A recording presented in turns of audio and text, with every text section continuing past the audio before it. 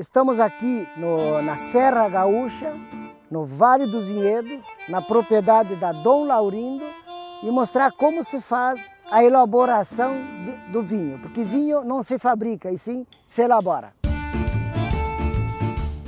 Tudo começa aqui na propriedade, no, no solo que eu digo, né, que eh, tem a ver com o terroir. O que é um terroir? É o solo, é o clima, é a variedade e eu costumo dizer que é o, o soramânigo, o homem que vai conduzir todo esse processo. A, a, uva agora nesse estágio, ela está em fase de maturação. Essa variedade é uma variedade de uva Merlot. O que, que a gente quer é, na qualidade da uva? Ela tem que ter um açúcar, frutose mínima para depois isso aí eh, na fermentação transformar em álcool, os taninos maduros e e uma acidez é, correta, uma acidez justa para depois para o vinho.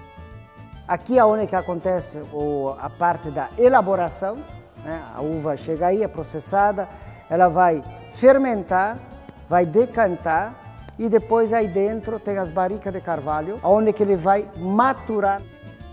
Qual é o efeito da barrica de carvalho no vinho? A madeira ela é porosa, essa microoxigenação que vai fazer com que o tanino, tanino que estava na uva, passou para o vinho, ele vai maturar e vai dar aquela sensação de um vinho aveludado ou uma mais suavidade. E a madeira passa aromas. E aqui é a quarta etapa, ele vem para o quarto, eu sempre digo, né, para dormir, para descansar, para continuar o processo de evolução. Ele fica aqui no mínimo em torno de um ano para depois ser rotulado e chegar até o consumidor.